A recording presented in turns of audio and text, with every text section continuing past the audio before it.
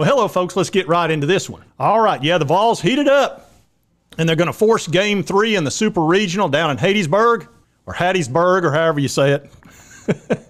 anyway, we didn't have a bunch of uh, lightning and stuff uh, today, and they finished out the first game and we tried to make a game out of it, made it like four to three, wound up losing five to three, and then we got way down in the second game, four to nothing. And I'm sitting here going, "Holy crap, we're going to get beat for sure," and it's the season's over.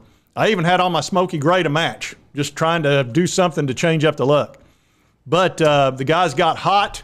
All of a sudden, scored a bunch of runs, six runs in one inning, and then another two on top of that. And they forced Game Three with an eight to four victory. And you can see here the guys that did the damage. Blake Burke had that uh, big home run, the two run homer that went, I don't know, 500 feet or some crazy number, 490. And uh, Merritt was huge. He was four for five, and he scored two runs. And that play where uh, the first baseman tried to uh, double up the uh, guy at home plate and it wound up being an error and we came home with two more runs that was huge that gave us that insurance policy and pushed us up to four which really makes it a lot easier on the pitchers to not have a, a ton of pressure on them. And Dollander played great after that one bad inning. He uh, pitched really well. Now, as you can see, he pitched eight innings total, and he had seven uh, strikeouts and had a real nice game. We brought in Burns at the end uh, to finish him off. Uh, I was surprised Dollander started the ninth, but I, I can see what uh, Tony V was thinking. He thought, you know what, I'm going to let Dollander go until he can. And as soon as he doesn't get somebody else, especially walking a guy, you can tell when somebody's starting to lose their stuff. And that happens, and you get in a seventh, eighth, ninth inning with starters. That's why they normally don't go a complete game.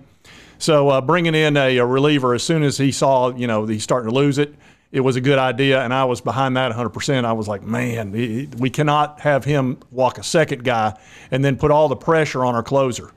And our closer got in trouble for a second that was Burns, and he was three and one, three balls and a strike. And I'm going, man, do not walk this guy. He's not going to swing.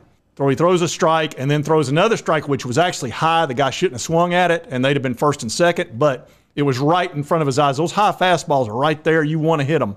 Although, my personally, there's no way I could hit that ball coming in there 100 miles an hour. That would just it would it would just be a blur.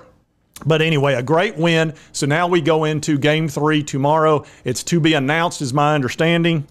I just checked Twitter. Yeah, Southern Miss is saying to be announced.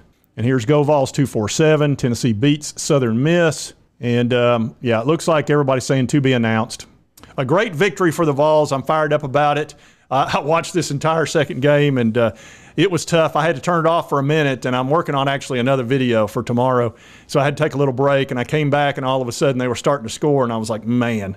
Uh, sometimes you got to walk away because you're putting out bad uh, bad vibes on them. Alakazam. I that out!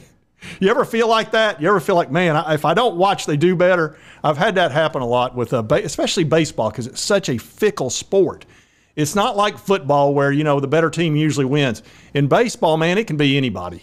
So, anyway, it's definitely the most fickle sport there is, even way more than basketball. So, anyway, we'll be watching closely. And uh, hopefully it's a game in the evening that it's not like some early afternoon. But, you know, we'll see. If it's in the evening, everybody gets to watch it. But it might not be. It'll probably be at 12 or something. But anyway, um, if you like this content, be sure to hit that like button. I knew you're going to hit, hit the like button. We won. and we forced game three.